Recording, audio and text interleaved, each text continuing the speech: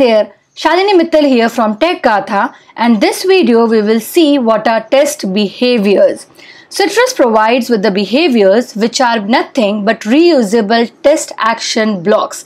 So say for example you have a test action which you want to reuse in multiple test cases, you can create behaviors and apply the behavior to different test cases and reuse them multiple times.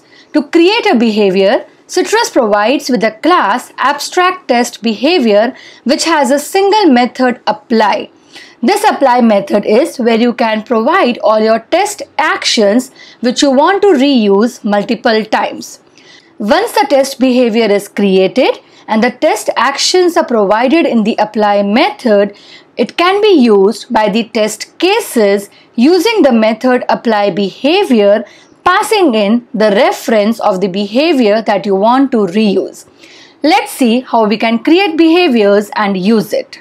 Open Eclipse We'll go here, right click and I'll say new class and I will be creating a behavior before log behavior.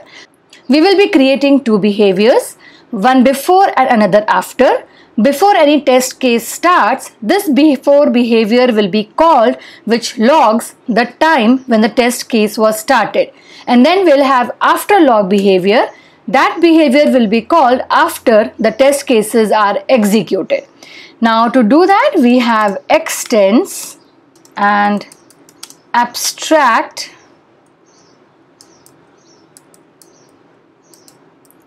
test behavior class. Again you can use the designer or the runner. So let's take the runner and it provides with one method which you have to implement that is apply. And let's say I'll just echo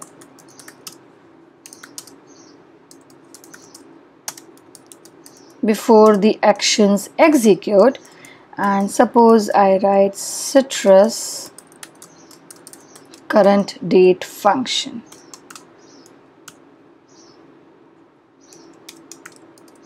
Nothing much doing. Let me create one more behavior and I'll give the name as after log behavior and here I'll say after the actions execute created. Now let's create a new class and I'll say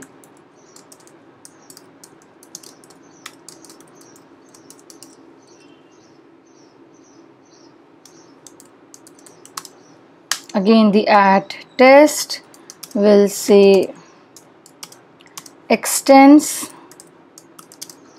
TestNG runner because we have the behavior extended from the runner.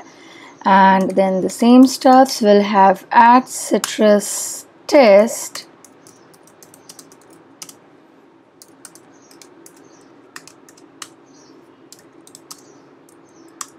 Apply behavior new before log behavior I'll say suppose echo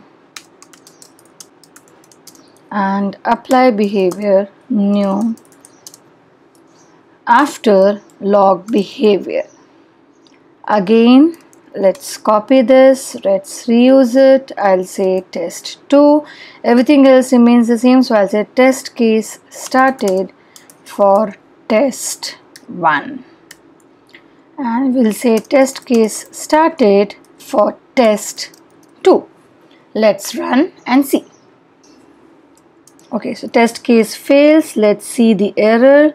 So the error is citrus current date. Sorry, the spelling mistakes. So it is current date and here as well. It's very important to read and read and understand the errors. Now let's execute again.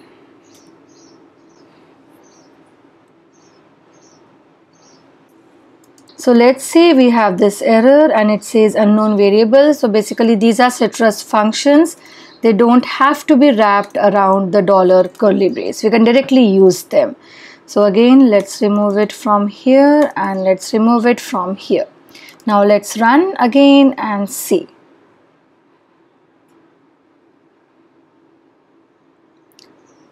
test case passed. You can see both of them. Test 1 test 2 if we go here and if I scroll you can see this is for test 2 we have the before the actions execute the current date. You can see test case started and then after the actions execute. You have more functions of citrus which we can definitely see and that we will be covering in the upcoming videos. And then you can again see over here for test 1 again you have these steps of actions you can see before the actions test case started and then after the actions execute. So this is how basically you can define or test actions in your behavior and they can be reused in multiple test cases. With this we come to an end of this video. Happy learning, take care and bye-bye.